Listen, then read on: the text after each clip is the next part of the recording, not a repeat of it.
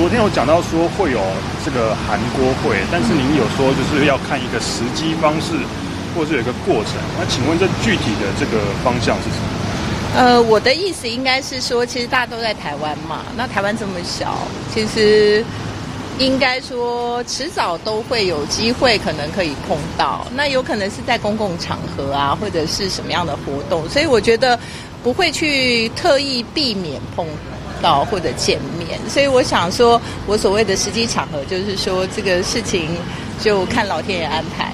董事长有没有决定好他在这一次总统大选里面到底是要扮演什么样的角色的？嗯，我想其实他既然已经参与公共事务了，对台湾重大的这些公共事务啊，我相信他一定会有他的角色。那能够为台湾好，为中华民国好，我相信他都不会推辞。啊，这个事情我觉得还是让董事长对于他未来的动向应该再有一些思考。所以他还没有决定说会不会就是以参选人的角色继续在这场选举里面。应该说到目前为止，并没有要参选的这个准备。